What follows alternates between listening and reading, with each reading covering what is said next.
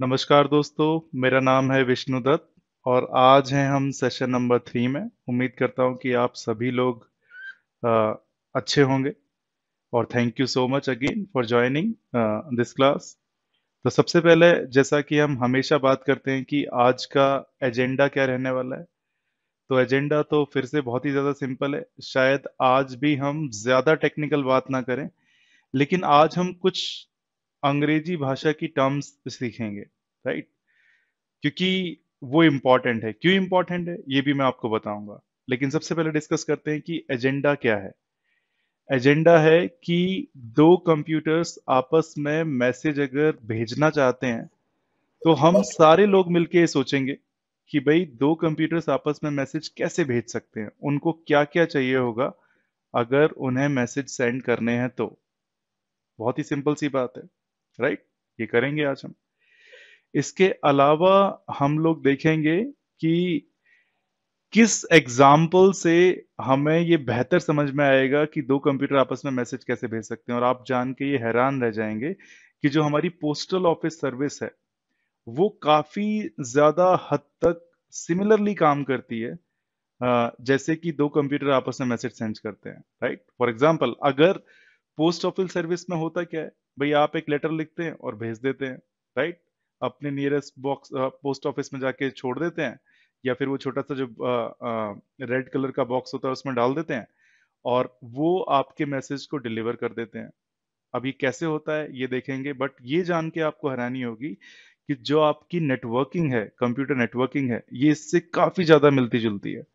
अगर आपको ये समझ में आ गई तो बिलीव मी आप दो कंप्यूटर आपस में मैसेज कैसे भेजते हैं, ये भी समझ जाएँगे। ठीक है?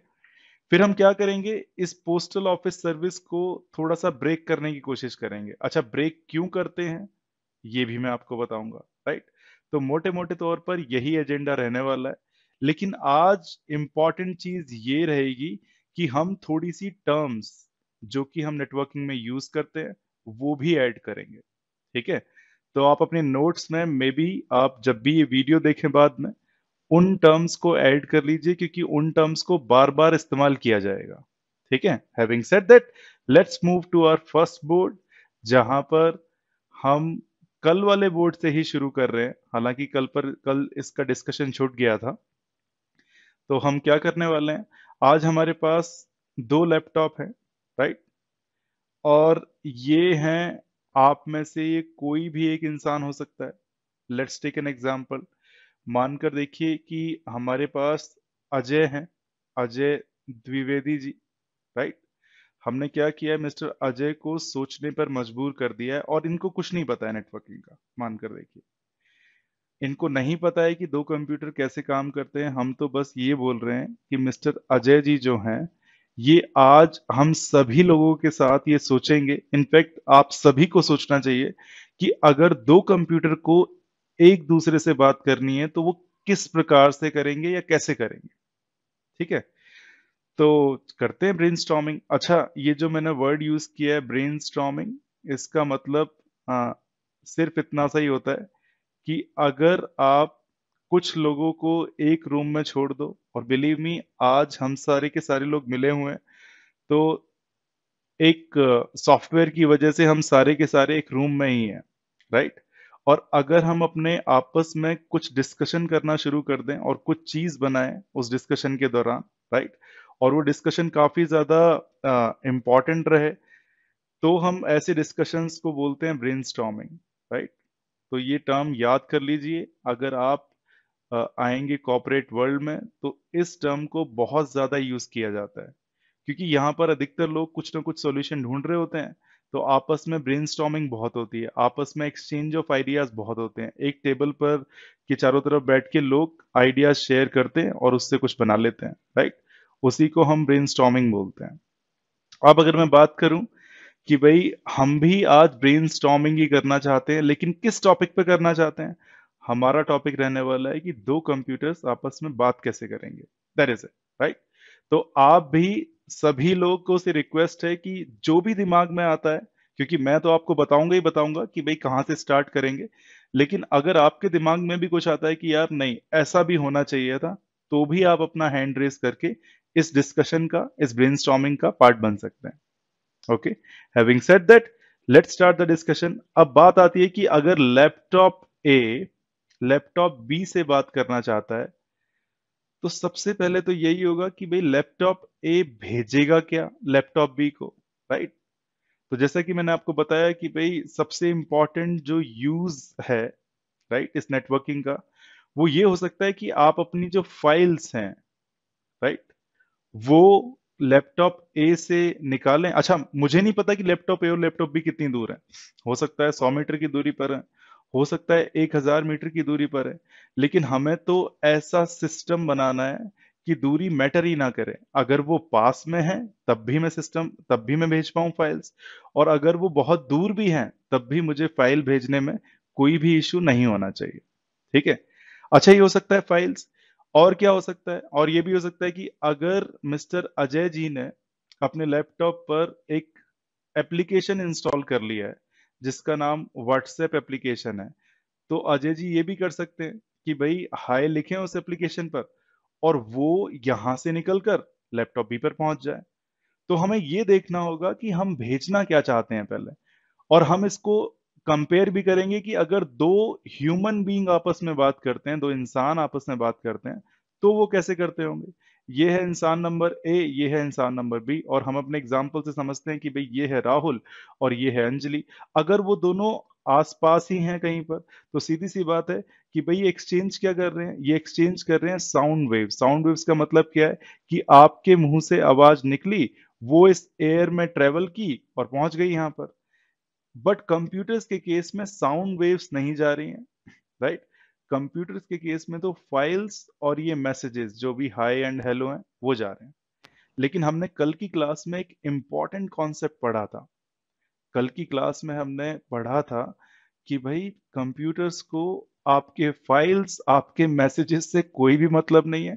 कंप्यूटर को ये सारी की सारी चीज़ें वंस एंड जीरोस की फॉर्म में नज़र आती हैं। यह आप सभी को कल पता लग गया था। इसका मतलब अगर ये फ़ाइल भी है, चाहे आपने कितना मर्ज़ी इस फ़ाइल में कुछ भी लिखा हुआ है बड़ा, कंप्यूटर को तो वो उसमें वंस एंड जीरोस ही नज़र आते हैं। अगर आपने ये हाई भी लिखा है तो बेसिकली क्या हो रहा होगा? एच के करस्पॉन्डिंग या एच की जगह पर हम सभी ने देखा था कल कि भाई वन ज़ीरो की जो एक सीक्वेंस होता है, वो लिखा हुआ होता है। हमने स्काई करेक्टर्स के बारे में भी पढ़ा था राइट और आई के करस्पॉन्डिंग भी वंस एंड जीरोस में कुछ लिखा होगा। तो कंप्यूटर को तो ये वंस एंड ज़ीरो ही दिखेंगे। कंप्यूटर एक्चुअल में यकीन कीजिए, इन वंस एंड जीरोस को ही भेज रहा होगा। अगर ये फ़ाइल की बात आएगी तो उसमें बहुत सारे वंस एंड ज़ीरो के सीक्वेंस होंगे। अगर ये हाई है तो उसमें थोड़ा सा कम सीक्वेंस वाले वंस एंड जीरोस होंगे। अच्छा अगर मैं आपको बताऊँ तो हम इस सिंगल वन या ज़ीरो को बोलते हैं बिट तो ये है मेरा एक बिट आप इस टर्म को भी आज याद कर लीजिए राइट हमने दो टर्म पढ़ी हैं। एक तो जो आप कंपनी ज्वाइन करेंगे बाद में कहीं पर भी राइट उसमें जो बहुत ज़्यादा यूज़ होती है, वो होती है ब्रेन मेरे ख्याल से सबको समझ में आ गई है। आज हम दूसरी टर्म की जो बात कर रहे हैं, वो है कि भाई ये जो वन एंड ज़ीरो है, इनको बोलते क्या है? इनको बोलते हैं बिट जैसे भाई एक अगर मैं बोलूँ, ये वन है जो कंप्यूटर को समझ में आता है तो हम बोलेंगे कि ये वन बिट है. ज़ीरो भी एक बिट ही है राइट लेकिन जब ये आपस में मिल गए हैं, एक सीक्वेंस बन गया है तो हम बोलते हैं कि भैया, ये है हमारे bits it is as simple as that bit अगर एक है बिट्स अगर काफ़ी सारे हैं, ठीक है? और हमने क्या किया हुआ है? जैसे हमने सामान को मेजर करने के लिए यूनिट्स बनाई हुई हैं। फॉर एग्ज़ाम्पल मैं बोलता हूँ कि आपको बाज़ार में जाकर शुगर खरीद के लानी है राइट तो आप सबसे पहले बोलेंगे, भैया, ये तो बता दो, कितने किलो खरीद कर लाऊं? राइट आधा किलो, एक किलो या फिर ढाई सौ ग्राम, आप बताइए हमें। तो मैं बोलूँगा कि भाई वन के ले आइए। अच्छा ये जो वन के है, अब ये जो वन के सारे बंदों के लिए वन के ही है। चाहे आप बेंगलोर में खरीदें एक किलो शुगर या फिर आप दिल्ली में खरीदें, या फिर आप कश्मीर में खरीदें, राजस्थान में खरीदें, हर जगह पर एक किलो शुगर का मतलब एक किलो शुगर ही है राइट सबके पास मेजर करने के लिए एक किलो कैसे कैसे आपको दे पाएँगे, उसको मेजर करने के लिए कुछ ना कुछ ज़रूर होगा, ठीक है? इसीलिए ये जो यूनिट्स होती हैं, ये बहुत इंपॉर्टेंट होती हैं। किलोग्राम हुई आप बोलते हैं कि भाई मैं सुबह सुबह दौड़ लगाने गया तो मैं पूछूँगा, कितनी दौड़ लगाई? कुछ लोग बोलेंगे तो भाई मैं तो सौ मीटर दौड़ने पर ही थक गया। कुछ बोलेंगे, आज मैंने पाँच किलोमीटर की रन की है, रनिंग की है राइट लेकिन इंपॉर्टेंट ये है कि किलोमीटर सभी को समझ में आ जाएगा कि अच्छा किलोमीटर गया तो भाई काफ़ी ज़्यादा रनिंग की है राइट इसी तरह से कंप्यूटर्स में भी हमें ये मेजर तो करना आना चाहिए कि भाई हमने ये तो बोल दिया बड़े आराम से कि लैपटॉप ए से लैपटॉप बी पर बिट्स जा रहे हैं। कितने बिट्स जा रहे हैं? आप अगर बोलोगे चार जा रहे हैं, पाँच जा रहे हैं, तभी तो कुछ मज़ा आएगा राइट लेकिन फिर भी हमने कुछ यूनिट्स बनाना ज़रूरी समझा ताकि सारे लोगों को समझ में आ जाए। मैं ये भी बोल सकता था कि आप चीनी के या शुगर के दस दाने खरीद के ले आइए, लेकिन यार वो यूनिट ज़्यादा मज़ेदार वाली हुई नहीं। एक किलोग्राम में तो बहुत सारे चीनी के दाने आ जाएँगे, कौन गिनेगा बैठकर राइट तो अब मैं अगर बोलता हूँ कि हमने जब एट बिट्स के ग्रुप को देखा, मान लीजिए ये एट बिट्स का कोई भी ग्रुप है ये हो गए यहाँ से यहाँ तक चार और ये हो गए यहाँ से यहाँ तक चार। तो हमने इसको बोला कि अब हम इसको बिट्स नहीं बोलेंगे, हम इसको एक नए नाम से जानेंगे। अगर मेरे पास आठ बिट्स हैं तो मैं उनको बोलूँगा कि भैया ये एक बाइट हो गया है। एक बाइट का मतलब जो है, वो हो गए eight bits. It is as simple as that. ठीक है? अच्छा बात आई कि भाई अगर एक किलोबाइट है तो उसमें क्या होगा? तो उसमें एक्चुअल में 1024 बिट्स होते हैं। राइट सॉरी बाइट्स होते हैं। तो आज की डेट में तो आप सिर्फ़ इतने ही याद कर लीजिए। हम गीगाबाइट की भी बात करेंगे टेराबाइट की बात करेंगे, लेकिन मुझे आज जो इंटेंशन है वो आपको कंफ्यूज करने का नहीं है। इनफैक्ट मैं तो बोलता हूँ कि आज आप सिर्फ़ one byte is equal to eight bits होते हैं, सिर्फ़ ये ध्यान रखिए, है ना? अगर मैं बोल रहा हूँ कि भाई मैंने 200 बाइट्स भेज दिए इस कंप्यूटर से, इस कंप्यूटर की तरफ़, कितने बाइट्स गए मानकर देखिए 200 बाइट्स। तो आपको समझ में आ जाना चाहिए कि भाई 200 बाइट का मतलब होता है कि 200 बाइट जा रहे हैं और एक बाइट के अंदर आठ बिट होते हैं। तो आपको समझ में आ जाना चाहिए कि भाई 1600 बिट्स इस बंदे ने लैपटॉप ए से लैपटॉप बी की तरफ़ भेज दिए हैं। वेरी वेरी सिंपल राइट तो दो टर्म्स हुई हैं, एक तो बिट्स एक किलो बिट्स अगर हम किलो बाइट अगर हम टेक्नोलॉजी की बात सॉरी एक बाइट अगर हम टेक्नोलॉजी की बात करें, और अगर हम टेक्नोलॉजी की बात ना करें तो भाई ये है सिर्फ़ ब्रेन वर्ड एक और राइट आगे देखते हैं। आगे की बात क्या है? तो हमें ये तो समझ में आ गया कि अगर दो कंप्यूटर को आपस में बात करनी है तो उनको वंस एंड जीरोस को भेजना है राइट अब मज़े की बात यह है कि भाई कैसे भेजा जाए उसको राइट ये जो वंस एंड जीरोस हैं, ये कैसे जाएँगे? तो हम मान के चलते हैं कि हमेशा जब भी भेजा जाएगा शुरुआत में तो ये जो कंप्यूटर होगा, इस कंप्यूटर से एक वायर निकली होगी और वो दूसरे कंप्यूटर में गई हुई होगी। अब आप कंफ्यूज हो जाएँगे इस बात से कि यार ये बंदा क्या बोल रहा है? अगर ये लैपटॉप पास पास में है, सौ मीटर दूर है तो भी मैं एक कंप्यूटर से वायर ले सकता हूँ और दूसरे कंप्यूटर पर वायर लगा सकता हूँ। लेकिन अगर ये कंप्यूटर बहुत दूर है 100 किलोमीटर 200 किलोमीटर, तब मैं वायर को कैसे खींचूँगा राइट एक जगह से वायर दूसरी जगह पे कैसे जाएगी? तो भाई, ये आप अपने अभी दिमाग में रखिए, इसका आंसर मेरे ख्याल से अब से 10 क्लास बाद जाकर मिलेगा आपको राइट कि ऐसा नहीं है कि हमें एक कंप्यूटर से दूसरे कंप्यूटर पे वायर खींचनी ही पड़ेगी। अगर ऐसा होगा तो भाई बहुत ही दिक्कत हो जाएगी राइट अगर आपका दोस्त अमेरिका में बैठा हुआ है तो भाई आप वायर कैसे खींचेंगे राइट एक जगह से दूसरी जगह पर। हम अभी ये मान के चलेंगे कि ये जो लैपटॉप ए है और लैपटॉप बी जो है, ये मे बी ज़्यादा दूर नहीं है मे बी सौ मीटर की दूरी पर है, और हमने इन दोनों में एक वायर अटैच कर दी है। कैसी वायर होगी वो भी बताएँगे, लेकिन आपको ये जानना ज़रूरी है कि भाई एक वायर में एक्चुअल में होता क्या है? अगर आप वायर लगाते हैं अपने घर में भी अगर इलेक्ट्रिक बल्ब जलाने के लिए आपने वायर लगाई है तो उसमें है क्या? उसमें कहीं ना कहीं इलेक्ट्रिसिटी जारी होगी इस वायर से राइट तो ये बात तो तय है कि वायर के अंदर से इलेक्ट्रिसिटी जा सकती है या इलेक्ट्रिक करंट जा सकता है। आप सभी को पता है। अगर यकीन नहीं होता है तो स्विच आ, आ, स्विच अपने सॉकेट में एक वायर को डालिए और स्विच ऑन कीजिए और वायर का एक सिरा पकड़ लीजिए। पकड़ोगे तो आपको फ़ौरन पता लग जाने वाला है, यार, कुछ तो इसके अंदर से जा रहा है। Right by the way experiment करने की ज़रूरत नहीं है छोटा सा मज़ाक किया है। लेकिन आप सभी को ये पता होना चाहिए कि इलेक्ट्रिक करंट पास करता है एक वायर में से और बेसिकली इस वायर को हम कॉपर वायर भी बोलते हैं। राइट वेरी वेरी सिंपल अब आप ये सोच रहे होंगे कि यार, हमें भेजने तो ये वंस एंड जीरोस हैं लैपटॉप ए से लैपटॉप बी में, और हमने जो वायर कनेक्ट की है वो लेके जा सकती है सिर्फ़ इलेक्ट्रिक सिग्नल तो ऐसा कैसे पॉसिबल है कि ये जो हमारे वंस एंड जीरोस हैं, ये लैपटॉप ए से लैपटॉप बी की तरफ़ पहुँच जाए। वेरी वेरी इंटरेस्टिंग राइट अच्छा ये बहुत इंपॉर्टेंट है इस बात को समझना कि अगर राहुल एंड अंजलि आपस में बात कर रहे हैं और इन दोनों के बीच का डिस्टेंस मान के देखिए दस मीटर है तो आपको ये फ़ौरन समझ में आ जाएगा कि जो राहुल के मुँह से निकल रहा है वो है आवाज़ या जिसको हम साउंड बोलते हैं ये साउंड अपने आप से नहीं जा सकता है। इसको चलने के लिए किसी ना किसी आ, सहारे की ज़रूरत है और वो सहारा बेसिकली है हमारे इस केस में एयर अगर ये एयर नहीं होगी राहुल और अंजलि के बीच में तो राहुल ने जो भी बोला है आवाज़ की फॉर्म में साउंड की फॉर्म में वो ट्रेवल कर ही नहीं सकता इस एयर पे राइट एयर के बिना। इसका मतलब अगर मैं थोड़ा सा इसको टेक्नोलॉजी की टर्म में समझाऊं तो मैं ये बोल सकता हूँ एक सिंपल लाइन कि जो साउंड है, उसको चलने के लिए एक मीडियम की ज़रूरत होती है और वो जो मीडियम है, वो है एक्चुअली हमारा साउंड वेव सॉरी जो मीडियम है, वो है हमारा एयर अगर एयर नहीं है राहुल और अंजलि के बीच में, राहुल और अंजलि बात कर ही नहीं सकते, चाहे चाहे राहुल कितना भी चीख कर बात करे. इट मीन्स दैट अगर आप चाँद पर पहुँच जाएँ, जहाँ पर हवा जो है, वो बिल्कुल कम है, ना के बराबर है तो भाई वहाँ पर आपका बात करना मुश्किल हो जाएगा। चाहे एक मीटर दूर खड़े हुए हैं या दस मीटर दूर खड़े हैं, आप बात नहीं कर पाएँगे क्योंकि वहाँ पर हवा नहीं है। इट मीन्स दैट अगर दो इंसानों को आपस में बात करनी है तो उनके बीच में एयर नाम का एक मीडियम होना चाहिए। अगर आप एयर निकाल दोगे उनके बीच से तो बात नहीं कर सकते राइट सिमिलरली अगर मैं बात करूँ कि भी लैपटॉप ए से निकलकर कुछ जाना चाहता है लैपटॉप बी में, ठीक है?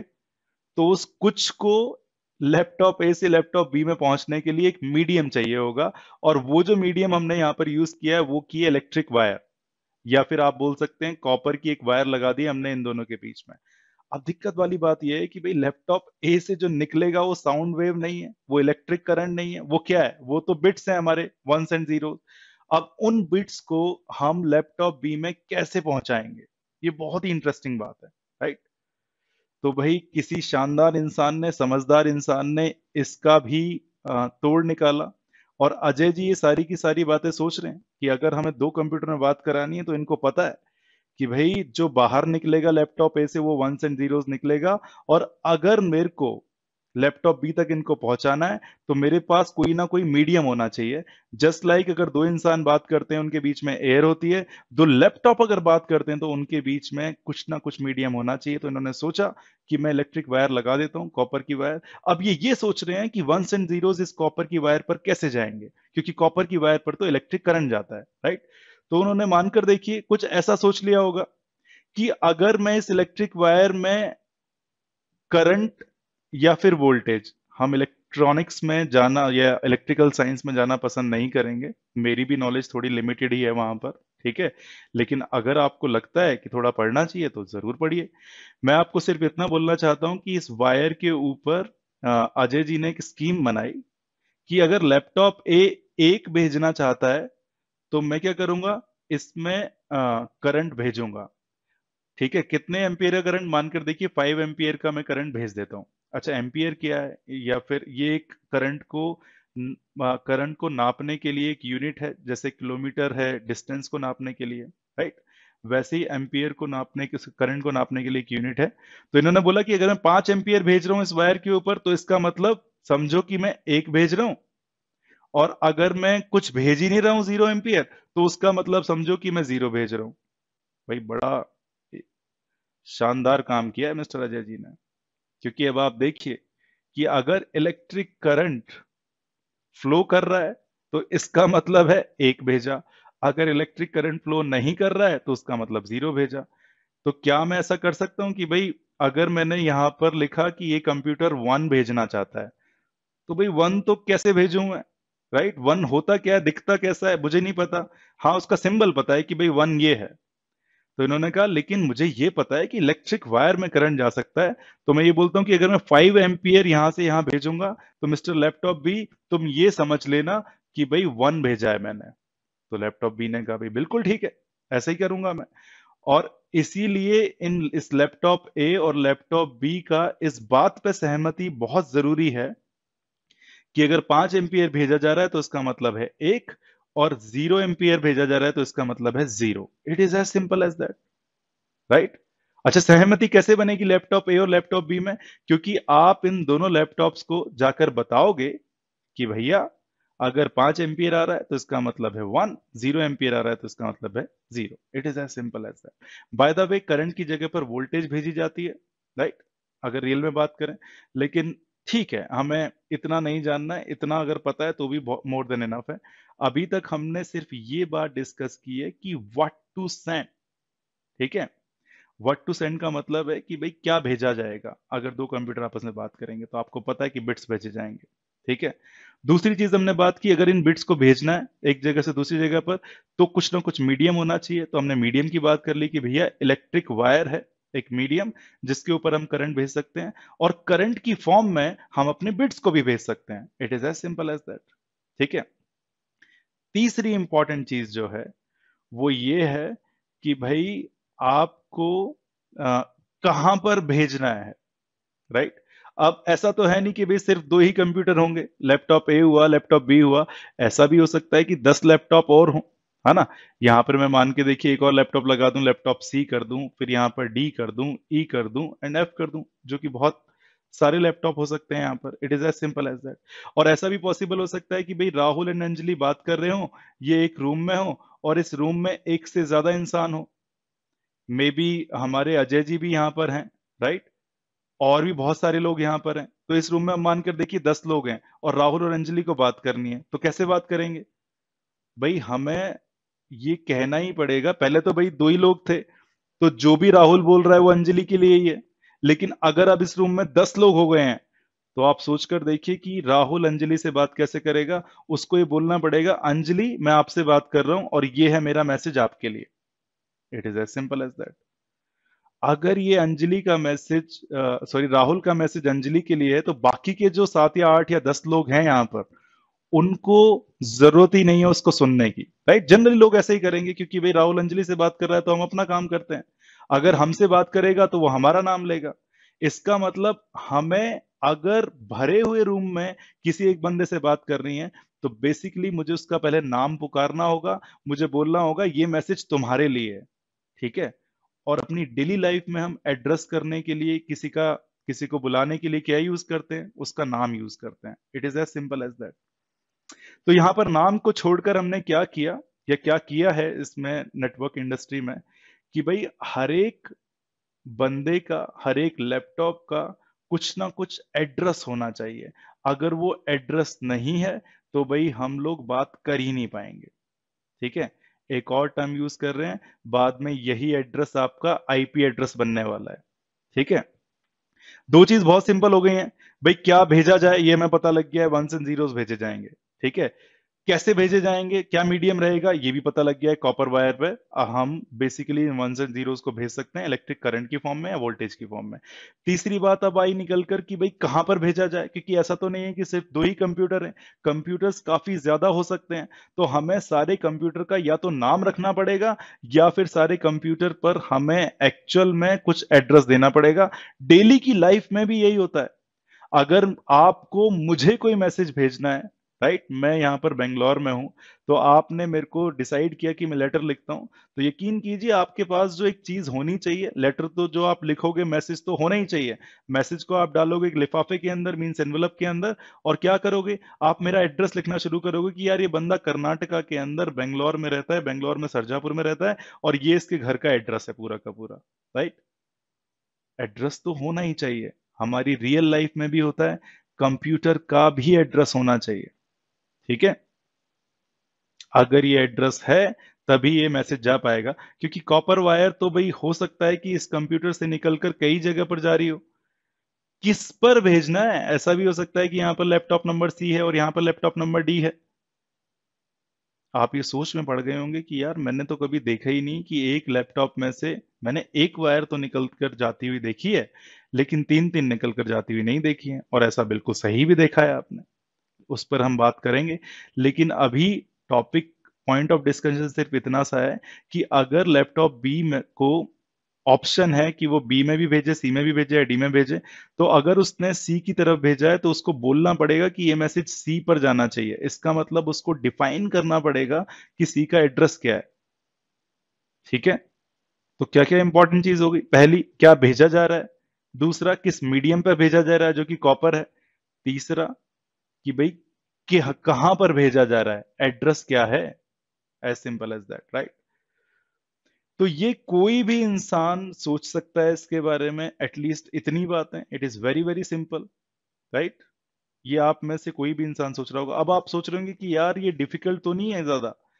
तो भाई डिफ़िकल्ट तो बिल्कुल भी नहीं है। मेरे ख्याल से अगर अब तक का किया हुआ डिस्कशन आपको आसान लग रहा है तो पूरी की पूरी कंप्यूटर नेटवर्किंग आसान ही है। दिक्कत पता है क्या है? दिक्कत ये है कि लोग ये सोचते हैं कि यार, ये तो समझ में आ जाता है, ये तो हमारी डेली लाइफ में होता है।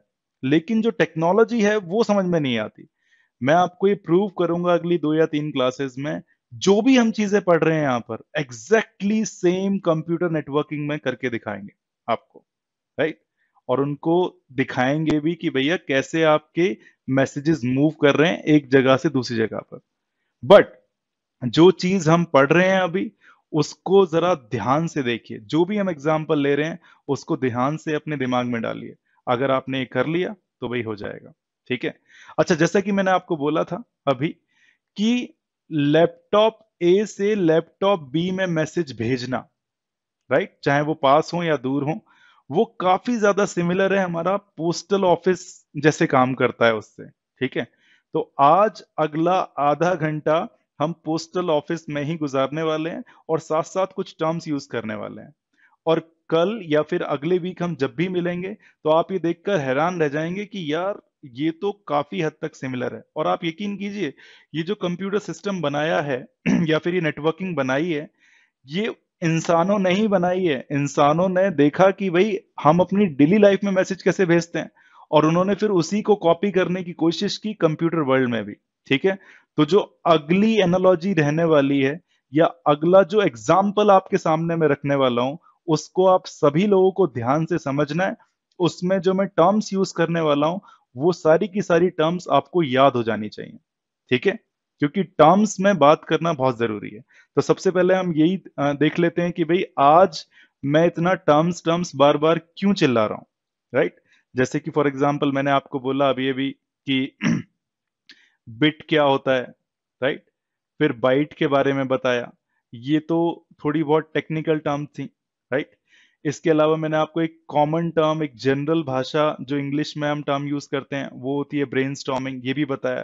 तो आपसे रिक्वेस्ट है कि आप ये कहीं ना कहीं पर लिखते रहिए, इनको दोहराते रहिए, ताकि जैसे ही आप बाहर आएँगे राइट तो ये आप इन शब्दों को यूज़ करना ज़्यादा शुरू कर देंगे, अगर आपने इनके बारे में सुना होगा। अच्छा इंपॉर्टेंट क्यों है? इंपॉर्टेंट ये इसलिए है कि अभी तो मैं आपको इन शब्दों का इस्तेमाल करे बिना भी सिखा सकता हूँ। मैं बार बार वंस एंड जीरोस बोल सकता हूँ। मैं बार बार ब्रेन की जगह डिस्कशन बोल सकता हूँ। इसमें कोई शक वाली बात नहीं है। लेकिन यकीन कीजिए कि अगर आप इस कोर्स को पढ़ने के बाद आप एक बेहतर नेटवर्क इंजीनियर बन गए, आपको नेटवर्क बनाना आ गया तो ऐसा पॉसिबल है कि आपकी जॉब लग जाए, है ना? जॉब लग जाएगी तो आपको अलग अलग तरह के कस्टमर्स को डील करना पड़ेगा। वो कस्टमर भी हो सकते हैं या फिर आपको इस कंपनी का नेटवर्क बनाना पड़ेगा और ऐसा हो सकता है कि आपके साथ दस लोगों की और भी टीम काम कर रही हो। ठीक है? अब ये जो दस लोग होंगे इनको तो नेटवर्क इंजीनियरिंग या कंप्यूटर साइंस अच्छे से आती होगी, क्योंकि ये काम कर रहे हैं, तीन चार साल हो गए इनको करते हुए, और आप वहाँ पर नए नए पहुँचे हैं।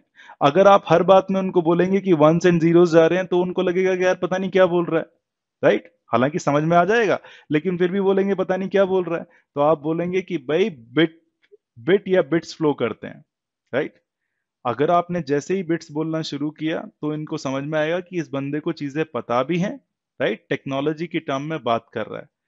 तो और दूसरी चीज़ ये है कि भाई कुछ चीज़ें होती हैं जो आपके दिमाग में अगर उसका नाम कुछ और है, और दूसरे के बंदे के दिमाग में उसका नाम कुछ और है, और अगर आप सेम चीज़ के बारे में ही बात कर रहे हैं तो कैसे कर पाएँगे राइट इसको लगेगा कि कुछ और बोल रहा है, और ये इसको लगेगा कुछ और बोल रहा है। It is as simple as that तो ऐसा कुछ कॉमन नाम होना चाहिए जो दोनों को समझ में आ जाए राइट और ऐसी भाषा अंग्रेज़ी भी है। फॉर एग्ज़ाम्पल अगर मैं आपको यहाँ पर बेंगलोर का एग्ज़ाम्पल दूँ तो जहाँ जिस सोसाइटी में मैं रहता हूँ, वहाँ पर उड़ीसा के भी लोग हैं, वहाँ पर राजस्थान के भी लोग हैं, वहाँ पर कश्मीर से भी लोग हैं, पंजाब से भी हैं, कर्नाटका के तो हैं ही हैं, तमिलियंस भी हैं, जो तमिल लोग हैं, राइट? केरला के भी काफ़ी लोग हैं। अब आप सोच कर देखिए कितनी सारी भाषाएँ हो जाएँगी, राइट? केरला की मलयालम हो गई, तमिलनाडु की तमिल भाषा हो गई, कर्नाटकी की कन्नाडा हो गई, पंजाब की पंजाबी भाषा हो गई राइट और यहाँ पर अधिकतर हर जगह पर आ, हिंदी भी बोली जाती है। तो होगा क्या? अब मानकर देखिए कि हर एक राज्य का एक बच्चा पार्क में खेलने आया। अब सोचकर देखो कि अगर इन सभी लोगों को अपनी अपनी भाषा पता है तो क्या होने वाला है? गड़बड़ होने वाली आपस में कैसे बात करेंगे? तो यहाँ पर लगभग हर एक बच्चा इंग्लिश बोलनी सीख जाएगा। राइट क्योंकि इंग्लिश ही एक ऐसी भाषा है जो इन सबको बाँध के रखेगी। राइट आप ही बोल रहे हैं कि हिंदुस्तान में रह के भाई ये हिंदी क्यों नहीं बोल रहा है? भाई ऐसा ही है। ऐसा ही हो रहा है, हम तो ये देख रहे हैं। तो यहाँ पर छोटे छोटे बच्चों को भी इंग्लिश भाषा का ज्ञान इसीलिए हो जाता है कि भाई अगर नहीं होगा तो वो काम चलेगा ही नहीं उनका। आपस में बात कर ही नहीं पाएँगे वो राइट तो ये क्या हो गया? ये हम बोल सकते हैं कि एक स्टैंडर्ड भाषा हो गई अंग्रेज़ी या इंग्लिश, जिसमें लोग आपस में बात करेंगे। ऐसा नहीं है कि इनको भाषाएँ अपनी नहीं आती हैं, बिल्कुल आती हैं राइट बट एक दूसरे की भाषा समझ में नहीं आती तो इन्होंने एक स्टैंडर्ड बना लिया एक इंग्लिश राइट इसीलिए मैं बोल रहा हूँ कि ये जो टर्म्स हैं, ये चाहे आप हिंदुस्तान में हैं राइट या फिर आप कहीं भी चले जाइए, किसी भी देश में चले जाइए बिट का मतलब अगर कोई ठीक ठाक पढ़ा हुआ बंदा होगा तो उसको वही समझ में आएगा। बाइट का मतलब जैसे आप बोलोगे तो उसको वरन समझ में आ जाएगा कि एट बिट की बात कर रहा है। ब्रेन का मतलब उसको सेम समझ में आ जाएगा, राइट? तो टर्म्स इसलिए इंपॉर्टेंट है क्योंकि आप अगर बाहर जाकर किसी कंपनी में बात करेंगे तो इन्हीं टर्म्स को यूज़ करके बात करेंगे, तभी दूसरे बंदे को समझ में आएगा, वरना नहीं आएगा। ठीक है? ये डिस्कशन ज़रूरी था टर्म्स के बारे में। आगे की बात अब ये है कि हम लोग एग्ज़ाम्पल या एनोलॉजी देखेंगे, जिसमें ये बात करेंगे कि पोस्टल ऑफ़िस कैसे काम करता है और पोस्टल ऑफ़िस के ज़रिए हम कुछ टर्म्स सीखेंगे और उन टर्म्स को जब हम कंप्यूटर साइंस का एक्चुअल कम्युनिकेशन में आपको दिखाऊँगा दो कंप्यूटर के बीच का वो टर्म्स यूज़ वहाँ भी होंगी। हैविंग सेड दैट मुझे लगातार बोलते हुए 30 मिनट हो गए अगर आपके दिमाग में कोई भी क्यूरियस क्वेश्चन आ रहा है या कोई भी क्वेश्चन आ रहा है, अगर आपको कुछ चीज़ इसमें ऐड भी करनी है तो प्लीज़ आप ऐड कीजिए। क्योंकि ऐसा पॉसिबल हो सकता है कि अजय जी या मैं कुछ भूल गया हूँ इसमें। लेकिन मुझे लगता है कि ये तीन चार चीज़ों की तो ज़रूरत पड़ने ही वाली है कि भाई कहाँ पर भेजा जाए मैसेज मैसेज में क्या जाना चाहिए राइट और बेसिकली मीडियम क्या होना चाहिए? इसके अलावा अगर आपके दिमाग में कुछ भी आ रहा है तो प्लीज़ आप अनम्यूट कीजिए और बोलना शुरू कीजिए। या फिर प्लीज़ हैंड रेस कीजिए और बोलना शुरू कीजिए। शिवम जी ने हैंड रेस किया है। शिवम जी प्लीज़ आप अपना क्वेश्चन पूछिए। या फिर good morning sir good morning sir why we use copper wire only why we use copper wire मैंने ये नहीं बोला कि हमें सिर्फ़ कॉपर वायर मैं तो एक एग्ज़ाम्पल लेके समझाने की कोशिश कर रहा हूँ। और यकीन कीजिए okay, कि आज की जो दुनिया है वो इतनी ज़्यादा एडवांस हो गई है कि हम सिर्फ़ कॉपर वायर यूज़ नहीं करते हैं। हम तो yes, sir, we हाँ। फाइबर ऑल्सो हाँ हम तो वाईफाई भी यूज़ करते हैं हम फाइबर भी यूज़ करते हैं लेकिन अभी तो हमारी सिर्फ़ शुरुआत है। तो मैंने सोचा कि वे लोगों को सिर्फ़ कॉपर के बारे में भी बताया जाए। लेकिन जैसे जैसे हम बात करेंगे वैसे वैसे हम वाईफाई की बात भी करेंगे। क्योंकि बहुत सारे लोगों को लग रहा होगा कि यार मैंने आज तक अपने लैपटॉप में कभी भी वायर नहीं लगाई है, लेकिन फिर भी मैं अमेरिका में मैसेज भेज देता हूँ, फिर भी मैं अपने दोस्तों को मैसेज भेज देता हूँ। तो पता नहीं विष्णु क्या पढ़ा रहा है। लेकिन भाई इनका विकास धीरे धीरे हुआ है। यकीन कीजिए कि जब 1970 में ये सिस्टम्स डेवलप हो रहे थे, तब सारा का सारा वायर के ऊपर ही जा रहा था। लेकिन कुछ लोगों ने इस टेक्नोलॉजी का विकास किया। आप जो कंपैरिजन कर रहे हैं, वो 1970 का कंपैरिजन 19 2020 से कर रहे हैं या 2023 से कर रहे हैं। इन 1970 और 2023 के बीच में लगभग 50 साल का डिफरेंस है 50 इयर्स तो ऐसा तो हो ही नहीं सकता कि जो हमने 1970 में बना दिया हो, बस उसी पे रह गए। नहीं भाई 50 सालों में ज़मीन आसमान का फ़र्क आया। पहले वायर था सिर्फ़ कॉपर की वायर उसके बाद फिर हमने ये भी सीखा कि भाई हम लाइट के थ्रू भी वंस एंड जीरोस को भेज सकते हैं। फिर किसी ने बोला कि जैसे हम साउंड को एयर में भेज सकते हैं वैसे ही हम आपके वंस एंड जीरोस को भी एयर में भेज देंगे जिसका नाम आया वाईफाई yes. तो हम ये सब पढ़ेंगे धीरे धीरे पढ़ेंगे पर ठीक है? मैं बस लोगों को ओवर बर्डन नहीं करना चाहता। पढ़ाई अच्छी लगनी चाहिए पढ़ाई होते हुए अगर माथे पे शिकन आ रही है तो गड़बड़ है। पढ़ाई करते हुए हमेशा दिमाग शांत और अच्छा लगना चाहिए कि यार कुछ बढ़िया पढ़ रहे हैं राइट तो धीरे धीरे डालेंगे धीरे धीरे प्रेशर डालेंगे। लेकिन ये तय है कि आप जब भी इस क्लास में बैठे होंगे तो आपके माथे के ऊपर वो शिकन नहीं आएगी कि यार पता नहीं क्या पढ़ रहा हूँ ठीक है? इसीलिए हम बहुत धीरे धीरे पढ़ेंगे। इसीलिए जो टाइम लिया हुआ है वो इस कोर्स का चार से छह महीने है। यकीन करो कि अगर मेरे को ये कंप्लीट ही करना हो तो मैं सारी की सारी चीज़ें सिर्फ़ एक महीने में कंप्लीट कर सकता हूँ जल्दी जल्दी लेकिन फ़ायदा कुछ नहीं होगा उसका। Having said that mister Rahul ji ने भी हैंड रेस किया है। मिस्टर राहुल जी प्लीज़ अपना क्वेश्चन पूछिए। सर आपने कम्युनिकेशन मीडिया बोला ना आपने। हम्म, हम्म। आ, तो आ, अगर वन रहा तो करंट पास हो रहा है ज़ीरो रहा तो करंट नहीं पास हो रहा है। आपने ये एक, एक ये आपने एक कुछ बना लिया मिस्टर अजय जी ने। अब एक्चुअल में कैसे होता है वो हम थोड़ा बहुत देख सकते हैं लेकिन ये इलेक्ट्रिकल साइंस का टॉपिक ज़्यादा है। लेकिन हाँ वोल्टेज अगर कभी गई है पाँच एम्पियर की वोल्टेज पहुँची है तो हमने बोल दिया कि भैया वो वन गया है अगर वोल्टेज गई नहीं है तो उस दौरान हमने सोच लिया कि वो ज़ीरो है। और हमने ये माना है कि हम एक सेकंड के अंदर ऐसे कितने वन एंड जीरोस भेज सकते हैं राइट फॉर एग्ज़ाम्पल सिग्नल कुछ इस तरह से जाएगा। राइट? अब आप सोचकर देखिए कि शुरू में एक सेकंड के अंदर, या एक सेकंड में मान लेते हैं कि एक सेकंड में पहला ये ऊपर का वोल्टेज गया है मतलब कुछ गया है यहाँ पर तो मैंने मान लिया कि ये वन है। अगर कुछ नहीं गया है तो ये ज़ीरो। देन अगले सेकंड में वन आया, फिर अगले सेकंड में ज़ीरो, और अगले सेकंड में वन एंड वन दो बार गया है, राइट? हम ऐसा कुछ कोडिंग कर सकते हैं। हम ऐसा कुछ कर सकते हैं कि वायर के ऊपर अगर मैं वोल्टेज भेज रहा हूँ तो वो वन है, वरना ज़ीरो है, और होता भी ऐसा ही है। राहुल जी समझ में आया? Yes sir but in case हम कुछ भेज रहे रहे तो ज़ीरो ही कंसिडर करेगा क्या? हाँ क्योंकि कंप्यूटर को दो ही चीज़ें समझ में आती हैं और ये कंसिडर करना ही चाहिए भैया। लेकिन हम बीच में कुछ टाइम हम भेज नहीं रहे आइडियल है फिर भी वो कंसिडर करते रहा कि मुझे ज़ीरो ही सिग्नल मिल रहा है बोल हाँ ये ये बहुत इंटरेस्टिंग चीज़ है और आपने बहुत इंटरेस्टिंग चीज़ पूछी भी है राइट फॉर एग्ज़ाम्पल मेरे को भेजना भी नहीं है तब भी बेसिकली दूसरे कंप्यूटर हाँ। को लग सकता है ज़ीरो है।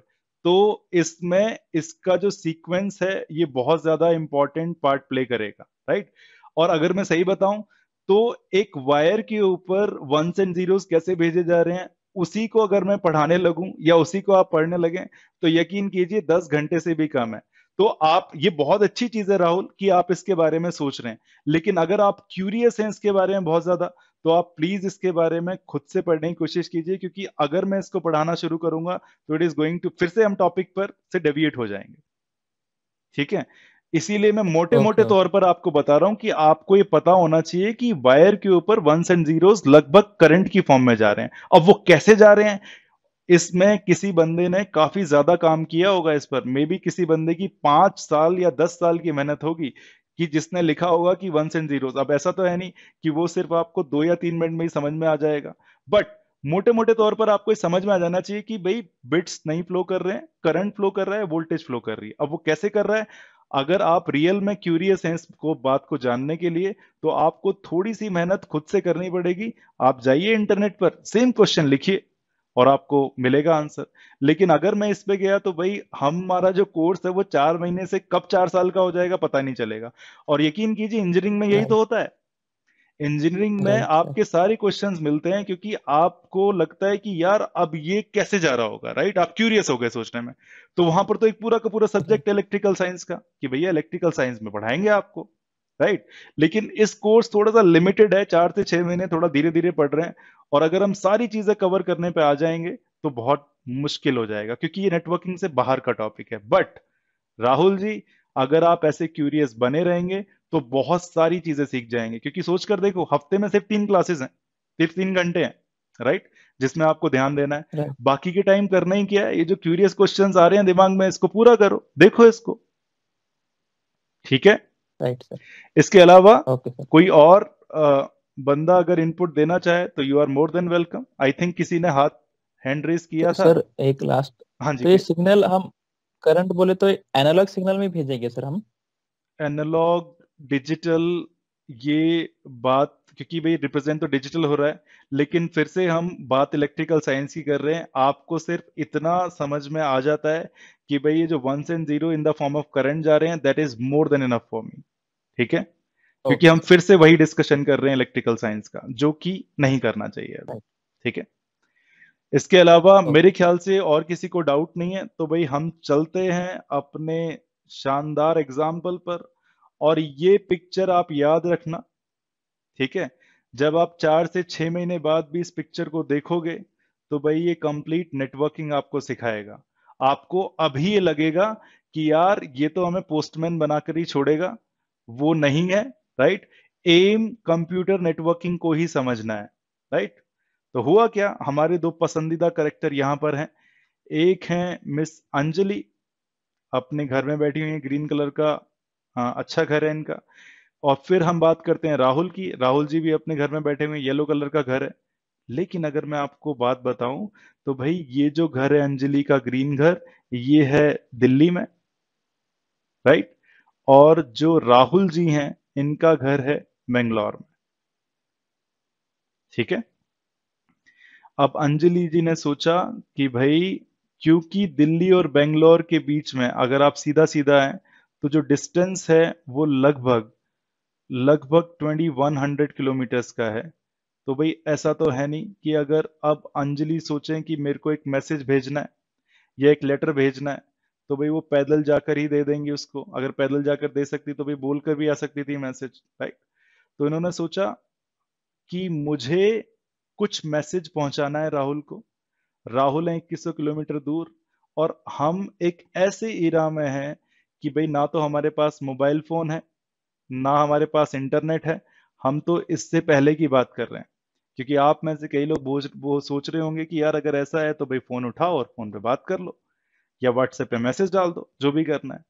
लेकिन हम काफ़ी पहले चले गए हैं जब ना तो मोबाइल फ़ोन होता था, ना फिर हमारे पास ये इंटरनेट था। तो अब सोचकर देखिए कि उस टाइम पर क्या सिस्टम होते होंगे, जिनकी वजह से हम एक जगह से दूसरी जगह पर मैसेज पहुँचा पाए। तो ओवरऑल सिनारियो सिर्फ़ इतना सा है। अंजलि को लिखना है एक लेटर जो कि बेंगलोर में मिस्टर राहुल के पास पहुँच जाए।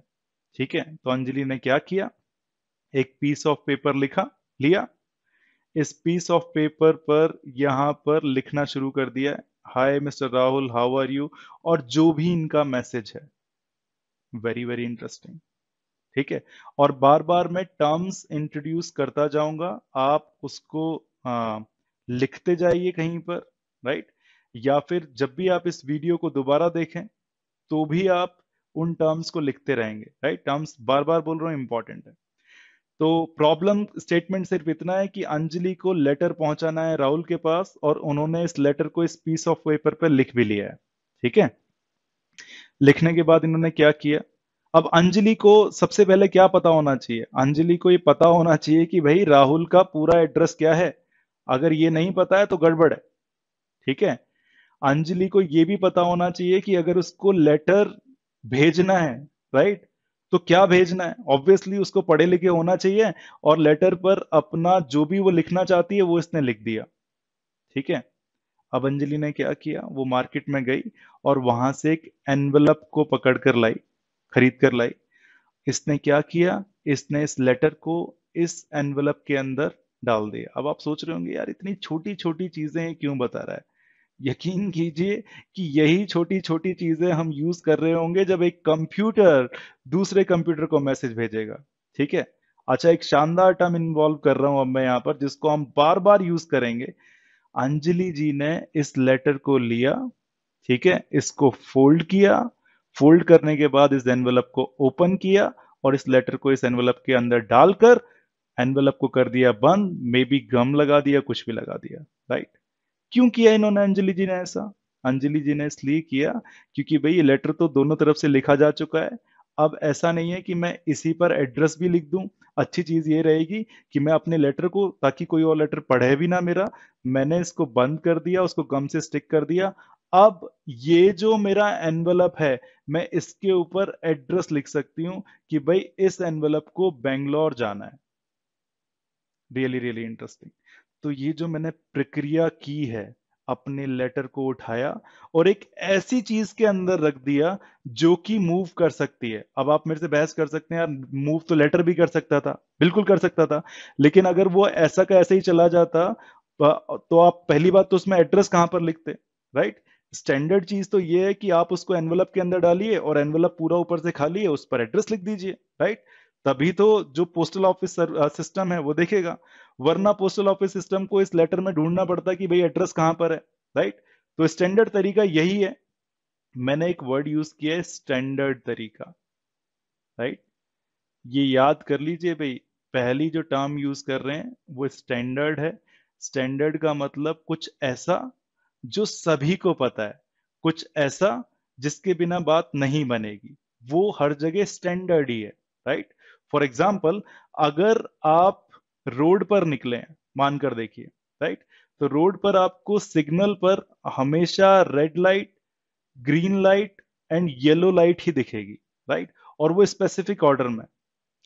आप इरेस्पेक्टिव ऑफ़ द फैक्ट कि आप दिल्ली में रहते हैं पंजाब में रहते हैं बेंगलोर में रहते हैं, अगर आपको रुकना है तो भाई ये सबके दिमाग में डाल दिया गया है कि रेड कलर की लाइट लाइट पर आपको रुकना ही रुकना है। राइट? हालाँकि कुछ लोग नहीं करते हैं ऐसा। वो तो रेड कलर की लाइट को देखकर और ज़्यादा एक्साइटेड हो जाते हैं और और ज़्यादा गाड़ी को भगाने की कोशिश करते हैं। लेकिन पॉइंट ये नहीं है पॉइंट ये है कि हम सभी को पता है कि एक स्टैंडर्ड बना हुआ है कि अगर रेड कलर की लाइट है तो हमें उसको रुकना है, राइट? अच्छा ये स्टैंडर्ड सिर्फ़ इंडिया में ही नहीं है। आप कहीं भी चले जाइए पूरे वर्ल्ड में सेम चीज़ है। और ये भी जो कलर है, ये रेड हमेशा ऊपर होता है, ये भी स्टैंडर्ड है, राइट? तो ये याद रखिए, एक वर्ड यूज़ कर रहे हैं हम स्टैंडर्ड बहुत बार यूज़ करेंगे और ये स्टैंडर्ड लेटर भेजने के लिए भी है कि अंजलि ने लेटर लिख तो दिया है, लेकिन अगर उसको भेजना है तो उसको एनवलप में डालना पड़ेगा और एनवलप के ऊपर एड्रेस लिखना पड़ेगा। ये एक छोटा सा स्टैंडर्ड है। दूसरा वर्ड जो हम यूज़ कर रहे हैं, जो आपको हमेशा याद रहना चाहिए, ये जो हम प्रक्रिया कर रहे हैं, ये जो हम प्रोसेस कर रहे हैं लेटर को उठाकर एनवलप में डालने का, इसको हम बोलते हैं इनकैप्सुलेशन ठीक है? आपको ये वर्ड सुनने में अगर किसी ने नहीं सुना है तो थोड़ा सा खतरनाक लगेगा कि यार ये क्या है? हमने तो बस लेटर को उठा के डाल दिया और इस बंदे ने इसका नाम ही बड़ा खतरनाक सा दे दिया इनकेप्सुलेशन बट यकीन कीजिए, क्या कर सकते हैं? अंग्रेज़ी भाषा ऐसी ही है। उन्होंने इस प्रक्रिया को नाम दिया इनकेप्सुलेशन है ना? आपको समझ में आना चाहिए कि इनकेप्सुलेशन के पीछे का टारगेट क्या था? टारगेट ये था लेटर नहीं जा सकता है। लेकिन जो चीज़ जा सकती है उसके अंदर मैंने अपना लेटर लिख दिया। तो इसका मतलब मैंने इस, आ, इस लेटर को एनवलप के अंदर डाल दिया और ये जो प्रोसेस किया मैंने इनकैप्सुलेशन किया। ठीक है? जब ये मैसेज मुझे नहीं पता कैसे पहुँच गया बट राहुल के पास यहाँ पर पहुँच गया ये येलो कलर का एनवलप सॉरी ग्रीन कलर का बना दिया। तो हुआ क्या ये जो मैसेज है ये मिस्टर राहुल के पास पहुँच गया यहाँ पर आ गया। ठीक है? अब राहुल का पास ये कैसे पहुँचा उसके बारे में तो बात करेंगे ही करेंगे, लेकिन मैं एक और टर्म यहाँ पर इस्तेमाल करने वाला हूँ। राहुल क्या करने वाला है इसको? राहुल एक्चुअली जैसे ही ये लेटर उसके पास पहुंचेगा, वो इस एनवलप को ओपन करेगा। ठीक है? ओपन करने के बाद भी काम की चीज़ तो अंदर ही है इसके। वो क्या है? जो लेटर अंजलि अंजलि ने लिखा था इसके लिए। It is as simple as that तो उसने लेटर अंदर से बाहर निकाला। अच्छा अंजलि ने क्या किया था? अंजलि ने लेटर को एनवलप के अंदर डाला था, जिसका नाम है इनकैप्सुलेशन राहुल क्या कर रहा है? एग्जैक्टली exactly उल्टा, राहुल एनवलप को ओपन कर रहा है और उसके अंदर से लेटर निकाल रहा है। इस प्रोसेस को जो राहुल ने किया, वो हम बोलते हैं डीकैप्सुलेशन या छोटे तौर पर हम उसको डी कैप भी बोल देते हैं। इसको इनकैप बोलते हैं, इसको डी कैप बोलते हैं। लेकिन एक्चुअल में सुलेशन आप लगा दीजिए तो ज़्यादा स्टैंडर्ड टर्म बन जाएगी। इनकेप्सुलेशन और डिकेप्सुलेशन मेरे ख्याल से यहाँ पर आपको समझ में आ जाना चाहिए। ठीक है? ये दोनों वर्ड्स बहुत ही काम के हैं। अगर मैं इनको बार बार लिख रहा हूँ स्टैंडर्ड हुआ इनकेप्सुलेशन हुआ डिकेप्सुलेशन हुआ, ये हम इतने फ्रीक्वेंटली आपस में यूज़ करेंगे नेटवर्किंग को पढ़ते हुए, कि भाई आप मे बी आपको लगे कि यार ये वर्ड बहुत ही काम के हैं राइट इसीलिए हम हमने पहले टर्म्स को जान लेना ज़रूरी समझा अपनी रियल लाइफ एग्ज़ाम्पल से। तो अंजलि ने लेटर लिखा लेटर को एनवेलप के अंदर डाला इनकेप्सुलेशन हो गया। राहुल ने उसी लेटर को उस एनवेलप से बाहर निकाला, जब उसको मिल गया तो वो डिकैप्सुलेशन हो गया। अब मिस्टर राहुल जी इस लेटर को बड़े आराम से पढ़ सकते हैं, ठीक है? इन दोनों की पर्सनल बात भाई, कुछ भी लिखा हो हमें उससे मतलब नहीं है। हमें मतलब ये है कि एक्चुअल में अंजलि ने राहुल को मैसेज भेजा इनकेप्सुलेशन के प्रोसेस के द्वारा। राहुल ने मैसेज को पढ़ा डिकेप्सुलेशन के प्रोसेस के द्वारा। It is as simple as that अभी कहानी खत्म नहीं हुई है। अभी तो बस it is as good as कि आपने व्हाट्सएप एप्लीकेशन खोला और उसके ऊपर हाई लिख दिया। और बटन प्रेस कर दिया। ये सिर्फ़ इतना हुआ है अभी तक, अगर मैं कंप्यूटर की बात करूँ तो राइट लेकिन यहाँ पर अंजलि ने लेटर को पूरा का पूरा लिखा और उसको एक पैकेट के अंदर बंद कर दिया। दैट इज़ अच्छा अब एक चीज़ जो अंजलि को पता होनी चाहिए, वो ये पता होना चाहिए कि राहुल का एड्रेस क्या है है ना? और ये जो एड्रेस होता है, ये बहुत ही ज़्यादा लॉजिकल चीज़ है। पूरे इंडिया में आप एड्रेस बता दीजिए, किसी भी बंदे का वो समझ जाएगा कि क्या बात कर रहा है। फॉर एग्ज़ाम्पल अगर मैं अपनी बात करूँ तो मैं बेंगलोर में 396 के मकान नंबर में रहता हूँ। मान लीजिए मेरा जो हाउस नंबर वो ये वो है, ये है। जो मेरी सोसाइटी का नाम है, वो मानकर देखिए, वो है प्रेस्टीज सिटी ठीक है? जो जगह का नाम है, वो है सरजापुर ठीक है? सरजापुर है कहाँ पर? वो है बेंगलोर में। बेंगलोर कहाँ पर है? वो है कर्नाटका में। कर्नाटका कहाँ पर है? वो है इंडिया में। हालाँकि आप चाहें तो इसके ऊपर भी जा सकते हैं कि इंडिया कहाँ है? कोई बोलेगा अर्थ में। अर्थ कहाँ है? सोलर सिस्टम में। सोलर सिस्टम कहाँ है? अपनी गैलेक्सी में। एंड सो ऑन लेकिन आप बोलेंगे कि यार ये तो पागल ही हो गया। इसलिए इसकी ज़्यादा ज़रूरत नहीं है क्योंकि मैसेज अर्थ के अर्थ में जाते हैं। हो सकता है कि भाई इंडिया से ऑस्ट्रेलिया जा रहा हो या या फिर अमेरिका जा रहा हो, तब आपको कंट्री लिखने की भी ज़रूरत है। लेकिन अगर हम अपने कंट्री के अंदर की सिस्टम की बात करें तो इनफैक्ट हमें इंडिया भी लिखने की ज़रूरत नहीं है। हमें पता है कि विष्णु जो रहता है, वो कर्नाटका में Karnataka is a state in India state के अंदर एक सिटी है।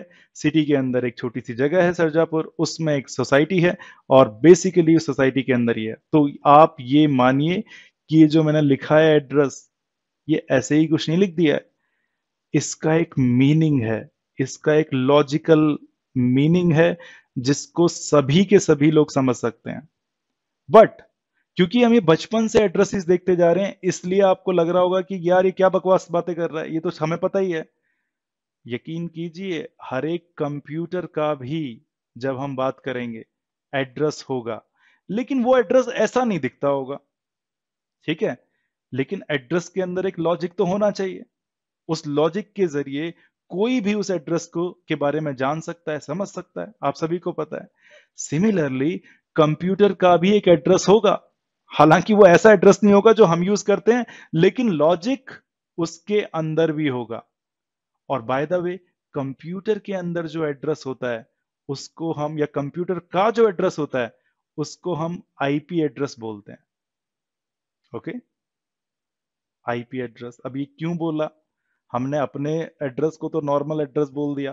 कंप्यूटर के एड्रेस को आईपी एड्रेस क्यों बोला? ये बात आपको समझ में आएगी बाद में।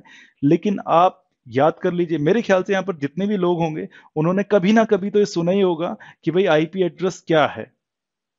राइट या फिर आईपी एड्रेस के बारे में थोड़ा सा सुना होगा। अगर आप मूवीज़ देखते हैं पिक्चर देखते हैं तो उसमें भी कभी ना कभी कोई बोल देता है कि अगर हमें देखना है कि मैसेज कहाँ से आया है तो हमें पता करना पड़ेगा उस कंप्यूटर का आईपी एड्रेस क्या है। ये सुना होगा आपने। बस सुना है तो भाई मेरे लिए इतना काफ़ी है। बट आपको ये बता दूँ कि जैसे हमारा एड्रेस होता है, जितना एड्रेस हमारा लॉजिकल होता है, उतना ही कंप्यूटर का भी एड्रेस लॉजिकल होता है। It is as simple as that ठीक है? अब आगे की बात करते हैं। अंजलि ने क्या लिखा? अंजलि ने, मानकर देखिए, अब यही वाला जो एड्रेस है, ये राहुल का भी एड्रेस है। मानकर देखिए। ठीक है? तो अंजलि ने ये पूरा का पूरा एड्रेस लिख दिया इस एनवेलप पर और अपनी कार को उठाया, है ना? हो सकता है कि भाई इनके घर के बहुत ही पास हो। क्या बहुत ही पास हो? ये वाला रेड कलर का बॉक्स जिसमें जनरली आप जाकर डाल देते हैं। तो ये पैदल भी जा सकती थी। अच्छा मैं छोटी छोटी बातों का इसलिए जो ज़ोर देकर बता रहा हूँ कि भैया it is very very important right क्योंकि आपको ये सारी चीज़ें यहाँ पर समझ में आ जाएँगी, लेकिन जैसे ही मैं इनको कंप्यूटर से रिप्लेस कर दूँगा, आप बोलोगे, यार, मुश्किल हो गया। ठीक है? लेकिन फिर से बोल रहा हूँ कि आपने छोटी छोटी बातों पर, मैं इतना भी बोल रहा हूँ लेटर लिखा एनवलप को ओपन किया वापस से रखा, ये सब कुछ हम देखेंगे कंप्यूटर ऐसे ही कर रहा होगा। राइट तो ऐसा पॉसिबल हो सकता है कि जो रेड कलर का बॉक्स है, जिसके अंदर आप लेटर जाकर डालते हैं, ये अंजलि के घर से मे भी एक किलोमीटर दूर है, और अंजलि ने अपनी कार उठाई इसके लिए। आप बोलेंगे कि एक किलोमीटर के लिए कार कौन उठाता है? मे बी इट्स प्रेफरेंस या पर्सनल चॉइस अंजलि ने किया ऐसा। कार में गई और यहाँ पर जाकर इस येलो कलर के लेटर को इस बॉक्स के अंदर डाल दिया। अब अंजलि का काम खत्म हो गया। लेकिन ये आप ये सोच रहे होगे कि यार ये तो इस पूरी दुनिया में जिसने पोस्टल ऑफ़िस सर्विस यूज़ की है, नहीं की, सभी को इस बात का ज्ञान होता है राइट हालाँकि आजकल की जो जनरेशन है, शायद उसको पता ना हो, क्योंकि उन्होंने कभी लेटर्स नहीं भेजे हैं, लेकिन फिर भी इतना ज्ञान तो होता ही है कि अगर मेरे को किसी को लेटर भेजना है तो लेटर को एनवलप में डाल के मेरे को एड्रेस लिखना ही पड़ेगा, अगर नहीं लिखेंगे तो लेटर पहुँच नहीं पाएगा, ये सभी को पता है, ठीक है? ये सभी को इसलिए पता है क्योंकि हमने ये ऑब्ज़र्व किया है आसपास। ठीक है? जो कंप्यूटर सिस्टम लोग बना रहे थे, वो भी हमारे जैसे ह्यूमंस ही हैं, उन्होंने भी कुछ ऐसा ही किया है, ठीक है? अब यहाँ के बाद अंजलि की रिस्पॉन्सिबिलिटी खत्म हो जाती है, इसके बाद भाई लेटर का क्या हो रहा है, अंजलि को कोई भी आइडिया नहीं है इसके बारे में, ठीक है? बट हम आपको आइडिया देते हैं, भाई क्या होता है, आप में से काफ़ी लोगों को पता भी होगा।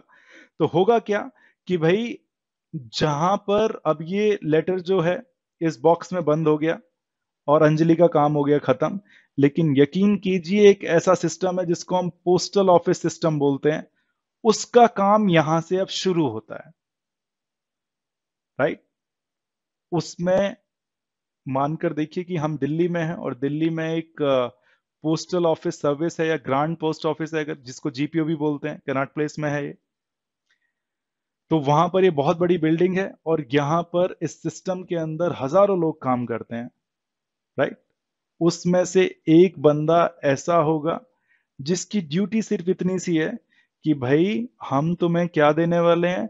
हम तुम्हें एक ट्रक दे देंगे राइट और आपको क्या करना है? शहर में मे बी जहाँ पर अंजलि रहती है हाँ मानकर देखिए, अंजलि दिल्ली में शाहदरा नाम की जगह पे रहती है। मान लीजिए, सोचिए राइट तो इस बंदे का काम यही है कि अपना ट्रक लेकर जाएगा और शहादरा के अंदर जितने भी रेड बॉक्सेस होंगे, उनके अंदर जितने भी लेटर्स होंगे, मैं एक लेटर की बात नहीं कर रहा हूँ, क्योंकि ऐसा नहीं है कि भाई अंजलि लेटर भेज रही है। दिल्ली में बहुत सारे लोग होंगे, ऐसा ही कंप्यूटर के केस में भी होगा। ज़रूरी नहीं है एक ही कंप्यूटर भेज रहा है, हज़ारों कंप्यूटर एक साथ मैसेज भेज सकते हैं राइट तो इस बंदे का काम तो सिर्फ़ इतना सा ही है कि इसको अपना ट्रक उठाना है इन सारे रेड बॉक्सेस की चाबी लेनी है और वहाँ पर जाकर इन रेड बॉक्सेस को ओपन करना है। सारे के सारे लेटर्स बाहर निकालने हैं, उनको रखना है अपने ट्रक के अंदर और ले आना है इस बिल्डिंग में। ठीक है? ये पहला काम है जो आपका पोस्टल ऑफ़िस सिस्टम कर रहा है। अच्छा सिस्टम का क्या मतलब है? सिस्टम कुछ ऐसा होता है जिसमें सबको अपना अपना काम पता होता है। ठीक है? फॉर एग्ज़ाम्पल इस बंदे को अब वो काम करे या ना करे उसकी मर्ज़ी है राइट या उसके नेचर पे जाता है। लेकिन भैया, ये जो जॉब कर रहा है ग्रांड पोस्ट ऑफ़िस में, जिसको एक ट्रक मिला हुआ है, इसको ये क्या करते हैं? साथ में एक बड़ा सा टास्क की लिस्ट देते हैं। ठीक है? कि भैया, ये आपकी टास्क है, आपको की उठानी है, आपको ट्रक उठाना है और आपको शाहदरे में जाकर जितने भी रेड बॉक्सेस हैं, वो सारे के अंदर से लेटर्स इकट्ठा करके लाने हैं। ये इसकी जॉब है राइट अच्छा अगर ये इंसान नहीं आता, इसकी जगह पर कोई नया इंसान आ जाता है तो वो भी क्या करेगा? वो भी जाकर अपनी जॉब रिस्पॉन्सिबिलिटीज को पढ़ेगा और उसको पता लगेगा कि यार मेरे को चाबी उठानी है ट्रक उठाना है और जाकर शादरा से सारे के सारे बॉक्सेस से कलेक्ट करना है राइट तो ये मैंने क्या बना दिया? ये मैंने एक ऐसा डॉक्यूमेंट बना दिया एक ऐसा पेपर बना दिया राइट जिसको पढ़कर कोई भी इंसान समझ सकता है कि उसकी ड्यूटी क्या है राइट और हम जो बात कर रहे हैं वो ग्रांड पोस्ट ऑफ़िस सिस्टम की बात कर रहे हैं। इस पोस्ट ऑफ़िस सिस्टम में लगभग सभी लोगों को पता है कि उनकी जॉब क्या है राइट क्या पढ़ाना है यार? यार ये ना अभी तक कुछ ज़्यादा खींचते हैं इन्होंने एक ही टॉपिक के एक दूसरे को मैसेज कैसे भेजे? वही था वो अभी तक वही है ठीक है मोहम्मद जी ज़्यादा तो खींच दिया है लेकिन ये इम्पोर्टेंट है.